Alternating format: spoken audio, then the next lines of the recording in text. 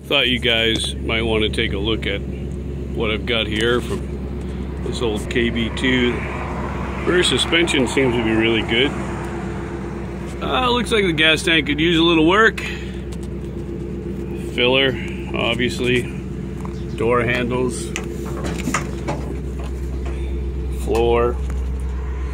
You can see some dash stuff. Shifter, parts window parts, door parts. I think there might even be some wiper motors up here. Oh, none on that side. Oh yeah, there's something. Six cylinder.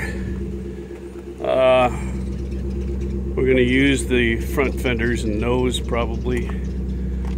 Good looking hood. Horns.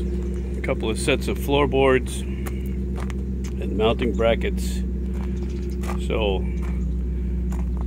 for you guys that are interested, there's some of the stuff that this truck has.